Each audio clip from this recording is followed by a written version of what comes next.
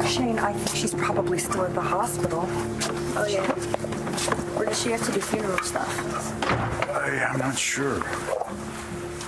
I don't know what to say to Mom about Aunt Stacy. She kind of hated her too, but she was her sister. Well, I think that probably counts more. Think Mom's sad? Probably, but I bet she'll feel a lot better seeing you.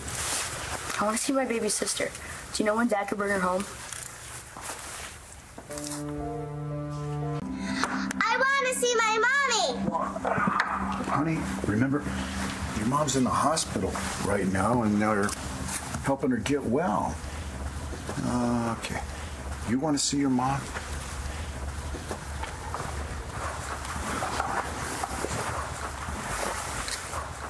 I can't get through to Natalie or Viki. Maybe they're with Jess. Maybe I should just take her to the hospital Do you think they're going to let her see Jess? Well, at least she could see her Aunt Natalie and her grandma and her grandpa. I mean, don't you think that would help? Yeah, good call.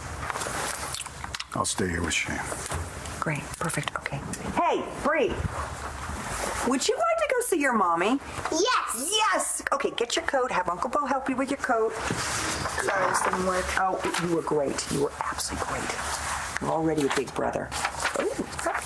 Okay. I will, um, I'll be in touch. Okay. Let me get my coat. Come on, sweetie.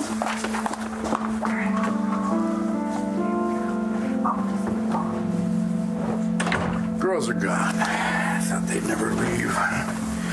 There'll be a basketball game or something on. Whatever. Jane.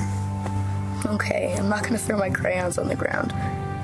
But I really want to see my mom and dad. And the baby. okay. Let me see what I can do about that.